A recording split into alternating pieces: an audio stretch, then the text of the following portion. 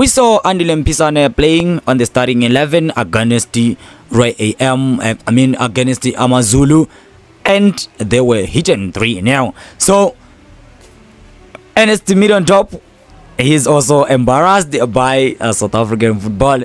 Actually, uh, this is so funny because this is a little bit a dis with my understanding. So NS Million Dop has uh, lambasted uh, Ray AM uh, after uh, coach after uh, Johnny Maduga gave a chairman Andile Mpisane his first start in the match against Amazulu. And he said, but before I just read, guys, make sure that you subscribe. He said, It's embarrassing for a coach. Uh, what I have seen Amazulu playing against Royal AM, it's embarrassing. Middendorp told the media, I think we can expect Bob Motaung in the game because he deserves it. He is so fit. He can uh, even play for Kaizer Chiefs for 45 minutes. Guys, I feel really embarrassed myself as a coach. And then you sit there and say, because he was so fit, um, he was so fit because he was so good in training, he deserves to play.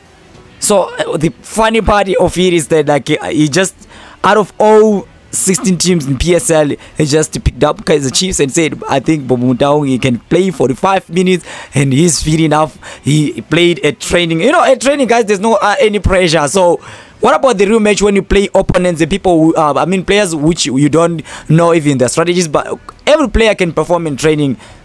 Everyone can perform in training, but when it comes to game, guys, it, there's a different. So Adam Middendorp, uh, Adam Middendorp, uh, he said um, he's so disappointed with South African football and also disappointed by John Maduka for giving Andile Mpisane, the chairman, a chance to play.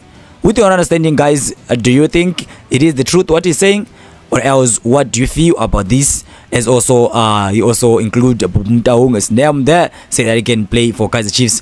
This, this guys, I will see you my next lovely video. Peace.